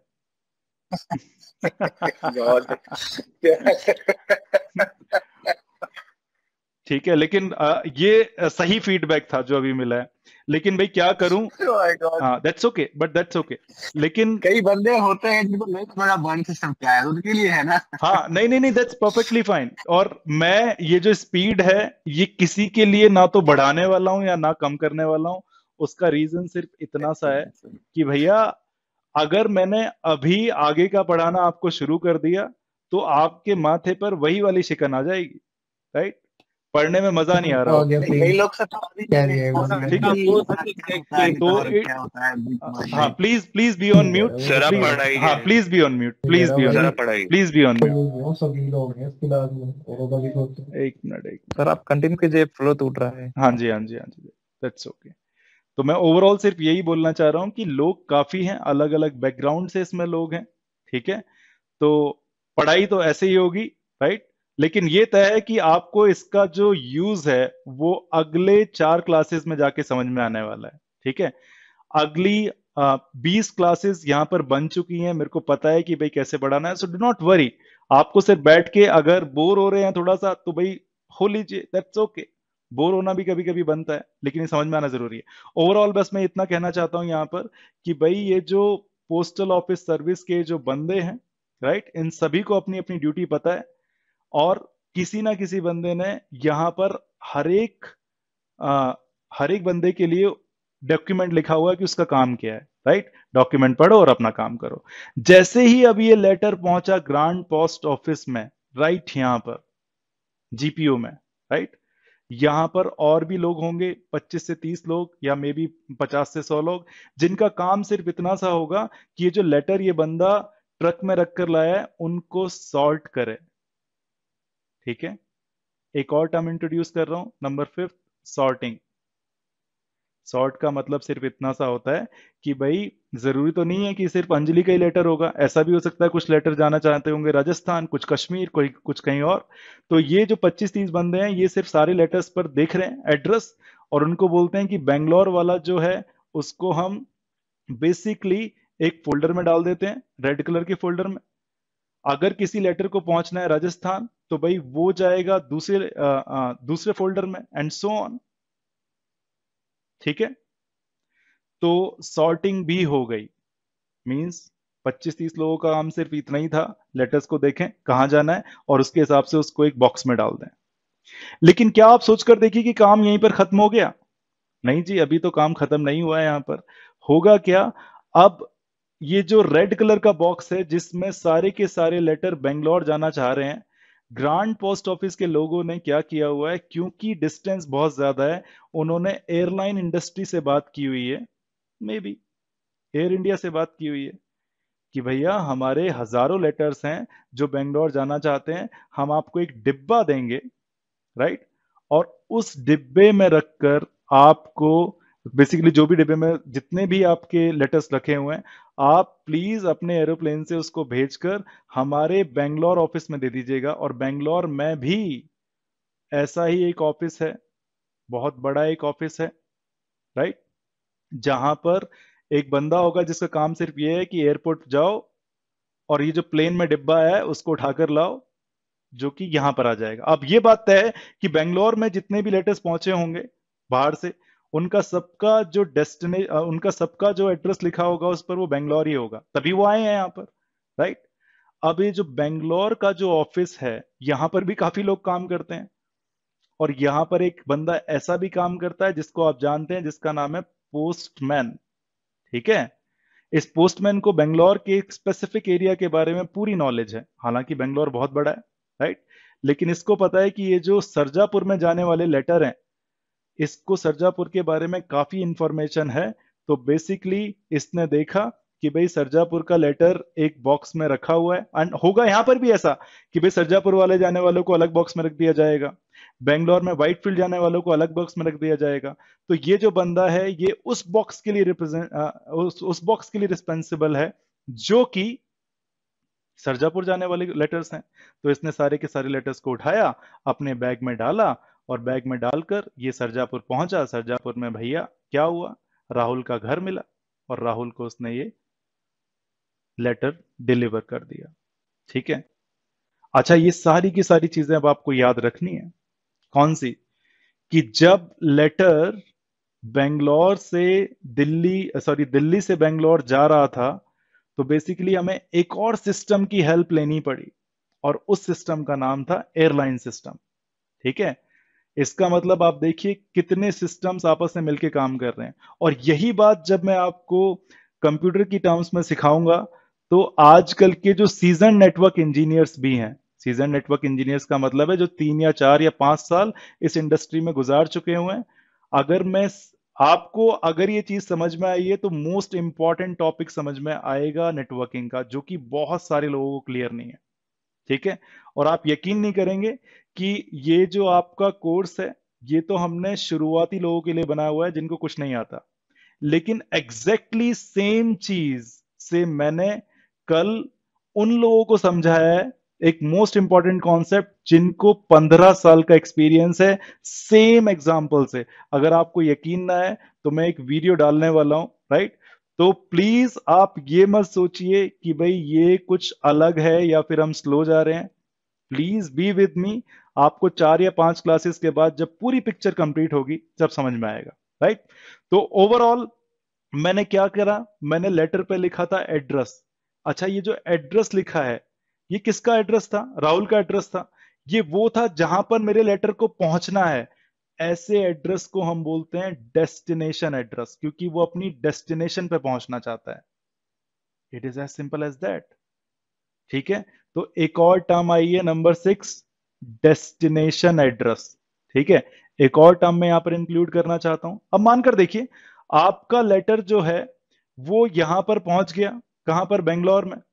अंजलि का लेटर अब राहुल जी वहाँ पर रहते ही नहीं है, या गड़बड़ हो गई अंजलि से। भाई, राहुल ने बेंगलोर को छोड़कर हैदराबाद में रहना शुरू कर दिया है, मान लीजिए। और अंजलि को इस बात की नॉलेज नहीं है। अगर ऐसा है तो क्या होगा इस लेटर का?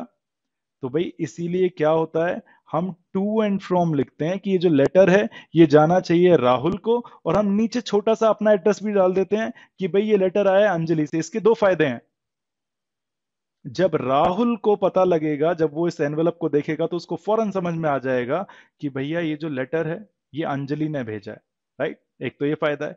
और दूसरा फ़ायदा इसका ये भी है कि अगर ये लेटर पहुँच ही नहीं पाया, अगर राहुल रहता ही नहीं है तो ये जो मिस्टर पोस्टमैन है, ये बोलेगा कि यार ये लेटर नहीं पहुँच पाया है तो मुझे इसको वापस, जिसने इसको भेजा है, उसको वापस कर देना चाहिए। तो अब ये लेटर वापस आएगा, बेंगलोर से वापस दिल्ली। क्यों आ पाया ये? क्योंकि इसमें अंजलि ने अपना एड्रेस भी लिखा था।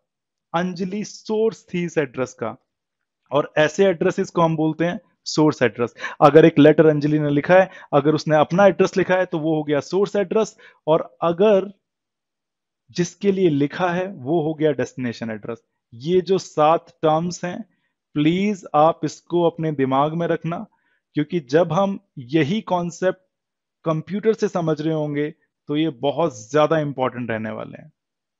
ठीक है? अब मैं देख पा रहा हूँ कि लोगों के क्वेश्चन आ गए मिस्टर विवेक जी, अपना क्वेश्चन पूछिए please good morning sir this is Vivek हाँ जी Vivek sir I had related to encapsulation and decapsulation हाँ जी. So I was reading OSI model yesterday so I just had a question that like encapsulation start from layer 7 right हाँ जी. And decapsulation happens from layer 1 आप ये आप ये आप ये बिल्कुल सही पढ़ा है आपने. लेकिन आप आगे की बात पूछ रहे हैं. आप मेरे को दो या तीन क्लासेस का टाइम दीजिए. ये वाला क्वेश्चन खुद बे खुद क्लियर हो जाएगा लेकिन जो आपने पढ़ा है वो बिल्कुल सही पढ़ा है। Okay. Okay. Thank you so much for the confirmation, sir. ठीक है यू आर वेलकम अब बात करते हैं मिस्टर खुबैब की। खुबैब जी प्लीज़ आप अपना क्वेश्चन पूछिए। मॉर्निंग सर हाँ मॉर्निंग प्लीज़ पूछिए। मॉर्निंग सर मेरा क्वेश्चन भी सेम है। I have gone through this OSI model but I जो सर आपने एनालॉजीज दी हैं मैं सर बोलना चाहता हूँ कि मैं उसको ठीक से ले रहा हूँ। जैसे आपने बोला सेट ऑफ़ प्रोटोकॉल्स जो ना डिफाइन होते हैं जॉब पोस्टमैन का। हम्म। वो हम पहले प्रिडिक्शन करते हैं? सो सर फिर वो हमारे आरएफसीज होते हैं। एक्चुअल में आप तो- सही समझ रहे हैं। ये जो स्टैंडर्ड ये भी मैंने आपको बोला था कि ये जो स्टैंडर्ड है बाद में ये हैं क्या? आप जरा सोच कर देखिए यही तो आपके रूल्स हैं।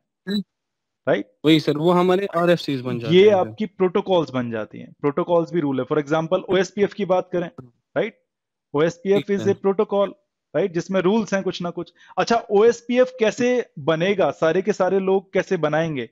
उसके लिए इन्होंने डॉक्यूमेंट हम्म, लिख दिया है जिसको हम स्टैंडर्ड बोलते हैं। अच्छा। ठीक है? ठीक है जो डॉक्यूमेंट में रूल्स लिखे हुए हैं वो हो गई हमारी प्रोटोकॉल और जो डॉक्यूमेंट हो गया वो हो गया हमारा स्टैंडर्ड जो कि आप आरएफसी की बात कर रहे हैं। तो मेरे ख्याल से मेरे ख्याल से जो लोग आगे थोड़ा बहुत जानते हैं शायद उनको अभी समझ में आ रहा होगा कि मैं इन सबसे कहाँ पर पहुंचूँगा राइट?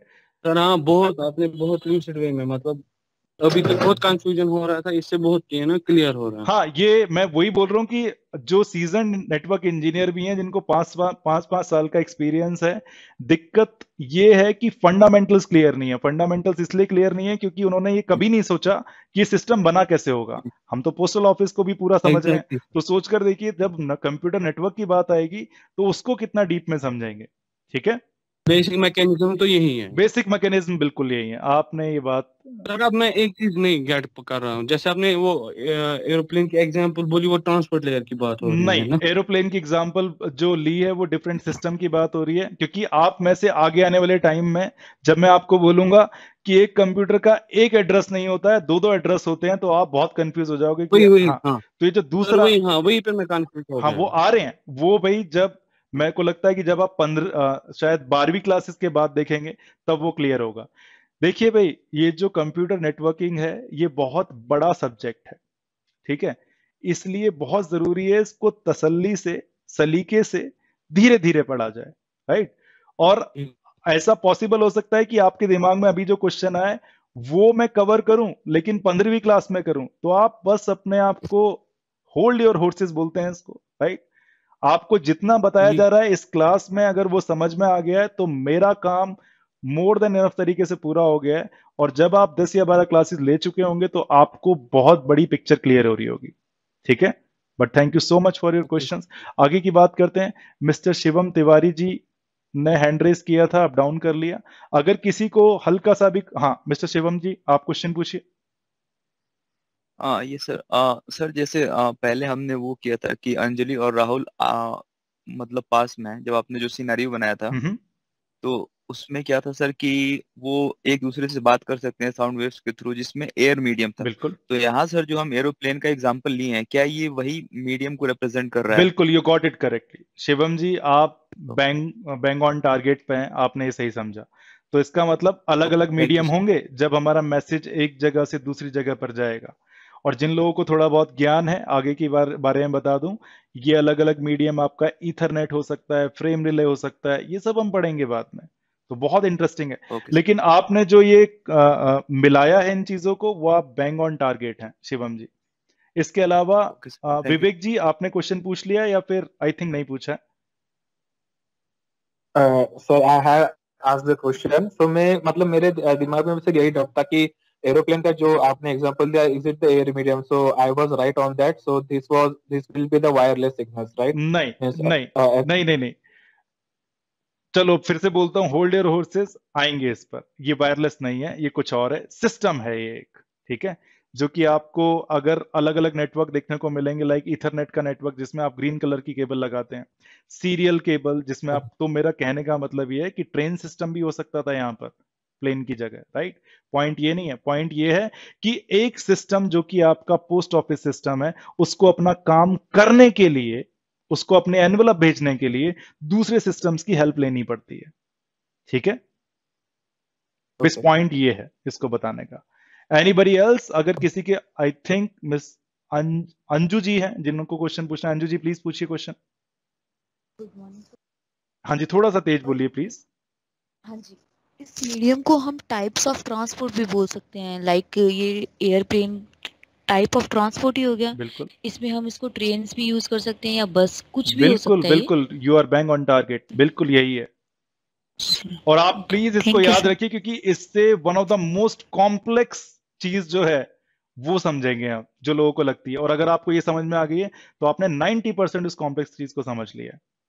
और मैं आपको अभी बता देता हूँ कि उसका टॉपिक का नाम है why do we use MAC address if we already have IP address पूरी इंटरनेट पर इसका आंसर लिखा हुआ है, लेकिन बहुत सेटिस्फैक्ट्री आंसर नहीं है। आप, मैं आपको सिर्फ़ इतना बताता हूँ कि चलो मैं एक और आपको स्टेटिस्टिक्स देता हूँ जिससे कि आपको क्लियर हो जाएगा कि हम इतना डीप में क्यों पढ़ रहे हैं। कि भैया, मैंने जब सौ लोगों के इंटरव्यू लिए राइट लगभग मैं एक क्वेश्चन ज़रूर पूछता हूँ कि भाई हमें मैक एड्रेस क्यों चाहिए जब हमारे पास IP address address is address हम भाई ह्यूमन है, हमारे पास एक एड्रेस है। तो कंप्यूटर साइंस में हमें दो दो एड्रेस की क्यों ज़रूरत है? तो सौ में से सिर्फ़ एक बंदा होता है और मैं उनकी बात कर रहा हूँ जिनको दस दस साल का एक्सपीरियंस है, जिसने मेरे को इस सवाल का ठीक से जवाब दिया अगर आपको पढ़ना है तो प्लीज़ पढ़िए। इसके लिए मैंने वीडियो बना के ऑलरेडी डाल दिया है। बट इसका जो आंसर है वो एक घंटे में मिलेगा आपको, ऐसे नहीं हिस्ट्री जाननी पड़ेगी। तो मैं यही बोल रहा हूँ, और ये मोस्ट बेसिक क्वेश्चन है कंप्यूटर साइंस का, या नेटवर्क इंजीनियरिंग का राइट और सिर्फ़ सौ में से एक को पता है। इसका मतलब सिर्फ़ इतना सा है कि भाई लोगों के जो फंडामेंटल्स हैं, जो बेसिक्स हैं, वो ठीक नहीं है। और हमें तो भाई सिर्फ़ फंडामेंटल्स और बेसिक्स ही ठीक करने हैं। अगर आपकी ये जो नींव है, ये स्ट्रांग बन गई तो इसके ऊपर जितनी मर्ज़ी बिल्डिंग बनाइए आप। राइट? ये स्ट्रांग होनी चाहिए। अंजू जी आपकी जो एनोलॉजी है जो आपने सोचा है वो बिल्कुल सही है। अलग अलग सिस्टम्स हैं ये सब। एनीबडी एल्स किसी के दिमाग में कुछ और भी क्वेश्चन है? I think we all are good now ठीक है? अच्छा क्वेश्चन नहीं हाँ मिस्टर विकास जी कहिए। आगे बढ़िए। गुड मॉर्निंग हाँ जी। सर हाँ सर मेरा क्वेश्चन था। वहाँ पे एरोप्लेन सिस्टम है लेकिन वहाँ पे तो ट्रेन सिस्टम है ना। लेकिन हम एरोप्लेन सिस्टम ले लिया क्यों ट्रेन सिस्टम क्यों ना ले? बिल्कुल ले सकते हैं। मैंने तो भाई अगर आप मैंने ट्रेन लिया होता तो आपने ये पूछा होता कि यार एरोप्लेन क्यों नहीं लिया? कुछ भी ले सकते हैं। चलिए आपके लिए बता बना देता हूँ कि दिल्ली से बेंगलोर तो इन्होंने प्लेन सिस्टम ले लिया। मे बी दिल्ली से इंदौर जाना है इनको तो इन्होंने ट्रेन सिस्टम लिया हुआ है। ठीक है? मे बी दिल्ली से अगर इनको जयपुर जाना है तो इन्होंने ट्रक भी लिया हुआ है। तो ये जो। एक सिस्टम है इसके लोग इसीलिए भी यहाँ पर बहुत सारे लोग काम करते हैं राइट कुछ कुछ कुछ लेटर्स को बहुत दूर जाना है तो उन्होंने प्लेन कर लिया इसके लिए प्लेन से सर्विसेज़ लिए हैं। कुछ को ट्रेन के द्वारा भेज रहे हैं, कुछ को ट्रक के द्वारा भेज रहे हैं राइट बाद में आप ये सोचिए कि ये जो बंदा है अपना जो पोस्टमैन है, ये तो अपनी साइकिल ही यूज़ करा हुआ है राइट साइकिल से लेके जाता है। एज सिंपल एज दैट ठीक है? तो डिपेंड ऑन अस हमारे पे डिपेंड करता है ना कि हमने यूज़ कौन सा मीडियम करना हाँ बेसिकली आप पर या उस सिस्टम पे डिपेंड करता है कि उसके पास पैसे कितने हैं खर्च करने के लिए राइट एयरलाइन यूज़ करना is not a simple thing ठीक है? इसीलिए इसको प्रॉफिटेबल भी रहना पड़ेगा इस सिस्टम को। लेकिन हम्म। ये जो क्यूरियसिटी आ रही है ना आपके दिमाग में आप इसको प्लीज़ रखिएगा क्योंकि ये बहुत बहुत बहुत इंपॉर्टेंट है। हाँ जी प्लीज़ कहिए। सर एक्चुअली ये शॉर्टिंग है जो हेलो। हाँ जी। उसको शॉर्ट लिस्टिंग में कह सकते हैं ना सर हाँ शॉर्ट लिस्ट कह सकते हैं आप। आपके पास इतने सारे लेटर हैं। उसको शॉर्ट वो शॉर्ट हाँ। तो ये शॉर्ट लिस्ट हाँ शॉर्ट लिस्ट कर लिया आपने कि भाई ये लेटर यहाँ जाना है तो उसको उसके डिब्बे में डाल दिया। इसको सॉर्टिंग भी बोलते हैं एक्चुअल में। जैसे फॉर एग्ज़ाम्पल आपको okay. बोला जाता है ये तीन छ एक आ, और ग्यारह। इन नंबर को आपको बढ़ते हुए क्रम में लिखना है मान लीजिए असेंडिंग ऑर्डर में। तो आप क्या बोलोगे? पहले वन लिख लिया फिर थ्री फिर सिक्स फिर इलेवन है ना? ये एक तरह की सॉर्टिंग हो गई। आपने जो नंबर्स हैं उनको सॉर्ट कर लिया एक पर्टिकुलर अरेंजमेंट में। उस अरेंजमेंट का नाम क्या है? इंक्रीजिंग ऑर्डर या बढ़ता हुआ क्रम। ठीक है?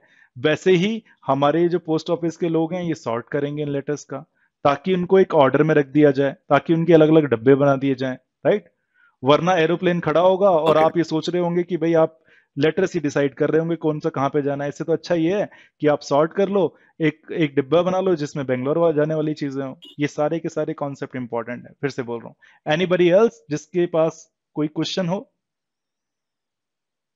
आई थिंक विष्णु दत्त ने ही एक हैंड रेस किया हुआ है। शायद हमारे ही कोई स्टूडेंट ने ज्वाइन किया हुआ है। हाँ जी, पूछिए।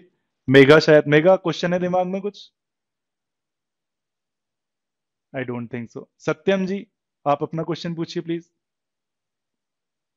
मिस्टर सत्यम सत्यम जी आप बात कर सकते हैं। हाँ जी बोलिए। सर मेरा सवाल ये कि आपने अभी तक वो तो आई एम गेटिंग ऑल आपकी आवाज़ काफ़ी कट रही है सत्यम जी। आप प्लीज़ रिपीट कीजिए। Sir it's my final year I am pursuing BTech so will that be easy to understand in further classes? आपको अगर ये समझ में आई है तो ये समझ में आ गई है ठीक से?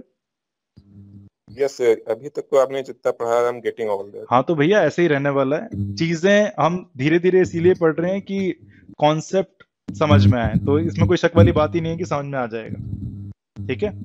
एनीबडी एल्स आई थिंक हम लगभग एक घंटा बीस मिनट दिया आ, आ, दे चुके हैं आज की क्लास को। कल कल या बेसिकली नेक्स्ट वीक जो क्लास रहेगी वो बहुत ही इंटरेस्टिंग रहने वाली है क्योंकि हम इन्हीं सारे कॉन्सेप्ट्स को अब देखने वाले हैं कि भाई अगर कंप्यूटर्स बात करेंगे तो उसमें से कितना वो हमारी डेली लाइफ की एनालॉजी में से लेंगे राइट ये डेली लाइफ था राइट पोस्टल ऑफ़िस सिस्टम बना ही हुआ है ऑलरेडी तो आप ये कह लीजिए कि कंप्यूटर साइंस ने इसमें से कितनी चोरी की है वो देखने वाली बात है। लेकिन ये जो सेवन टर्म्स मैंने आपको बताई हैं, आप प्लीज़ ओवर द वीकेंड एक एक बार इसको सोच लेना कि ये क्या होते हैं, इनका मतलब क्या होता है। फॉर एग्ज़ाम्पल स्टैंडर्ड क्या है बाइट क्या है बिट क्या है encapsulation decapsulation IP address source address destination address आप प्लीज़ इसके बारे में ज़रूर पूछिए। ठीक है? आई थिंक मेघा ने हैंड रेस किया हुआ है। मेघा जी प्लीज़ क्वेश्चन पूछिए अपना। मेघा, आप अपने आप को अनम्यूट करके क्वेश्चन पूछ सकती हैं। हेलो सर हाँ जी पूछिए। मेरा क्वेश्चन ये था जो ये आईपी एड्रेस होता है ये ईमेल आईडी होती है या फिर डिवाइस के अंदर कोई एड्रेस होता है? ये ईमेल आईडी नहीं होती है ठीक है? ये ऐसा ही एड्रेस है जैसा कि हमने अपना रियल लाइफ में अपना एड्रेस बनाया हुआ है बट ये कंप्यूटर का एड्रेस है बट ये ईमेल आईडी नहीं है। इसके बारे में ज़्यादा जानकारी आपको शायद अब से सातवीं या आठवीं क्लास में मिलेगी ठीक है? ओके सर थैंक यू ठीक है। तो भाई अब हम आई थिंक अंजू जी का भी क्वेश्चन है। अंजू जी पूछ चुकी हैं या फिर से पूछना है? आई थिंक बालकृष्णा जी का क्वेश्चन है। बालकृष्ण जी पूछिए। Hello sir good morning good morning sir वो क्वेश्चन आपने पूछा पूछा था ना अभी कि मतलब why do we use when we have MAC address why we use IP address question क्या था? एग्जैक्ट बताएँगे यही था। कि भाई एड्रेस तो ऑलरेडी है हमारे पास आईपी एड्रेस तो हमें मैक एड्रेस की ज़रूरत क्यों हाँ। पड़ी? या फिर उल्टा कर लीजिए मैक एड्रेस है तो आईपी एड्रेस की ज़रूरत क्यों पड़ी? है ना? ठीक है परफेक्ट ठीक है भाई अब हम करते हैं नेक्स्ट वीक मिलते हैं आपसे। आप हेलो हाँ जी कहिए। गुड मॉर्निंग बाल हाँ जी बालकृष्ण जी गो अहेड मैं राजू बोल रहा था। हाँ जी राजू जी प्लीज़ कहिए। आ, सर क्वेश्चंस क्वेश्चंस तो कौन सा भी नहीं सर बस थोड़ा कंसर्न है सर। हाँ जी कहिए। सेवन टू एट बोला था सर आपने। हमारा एक्चुअली चलिए अभी अभी अभी मैं क्या करता हूँ इस मीटिंग को स्टॉप कर देता हूँ। हाँ और फिर आपके